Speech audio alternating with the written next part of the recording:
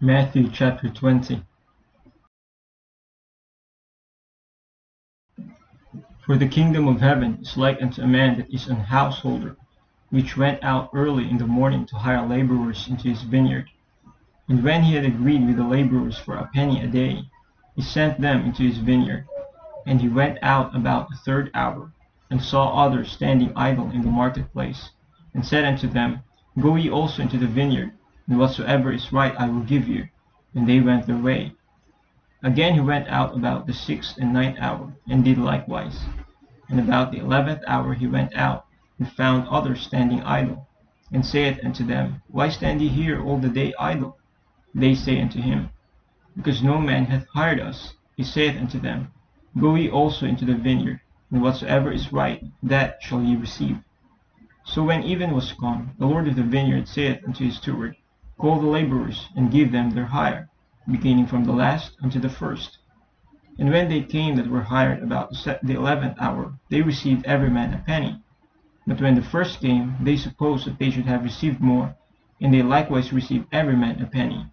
And when they had received it, they murmured against the good men of the house, saying, This last have wrought but one hour, and thou hast made them equal unto us, which have borne the burden and heat of the day. But he answered one of them, and said, Friend, I do thee no wrong. Didst not thou agree with me for a penny?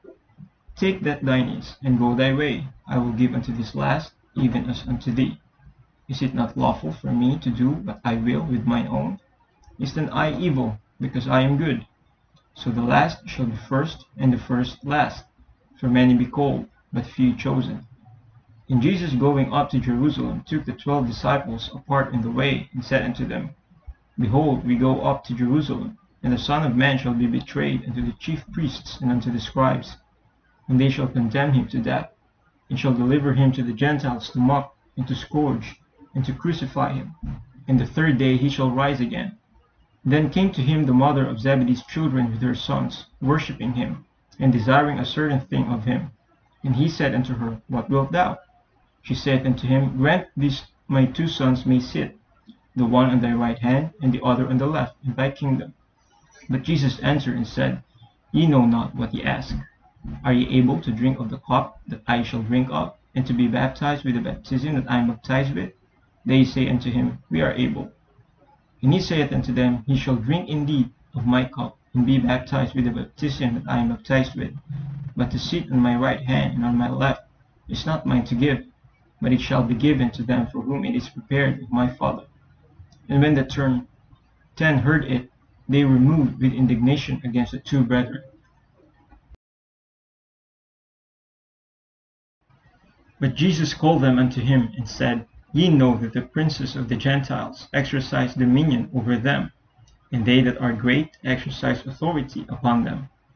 But it shall not be so among you, but whosoever will be great among you, let him be your minister. Whosoever will be chief among you, let him be your servant, even as the Son of Man came not to be ministered unto, but to minister, and to give his life a ransom for many. And as they departed from Jericho, a great multitude followed him. And behold, two blind men sitting by the wayside, when they heard that Jesus passed by, cried out, saying, Have mercy on us, O Lord, thou Son of David. And the multitude rebuked them, because they should hold their peace. But they cried the more, saying, Have mercy on us, O Lord, thou Son of David. And Jesus stood still, and called them, and said, What will ye that I shall do unto you? They say unto him, Lord, that our eyes may be opened. So Jesus had compassion on them, touched their eyes, and immediately their eyes received sight, and they followed him.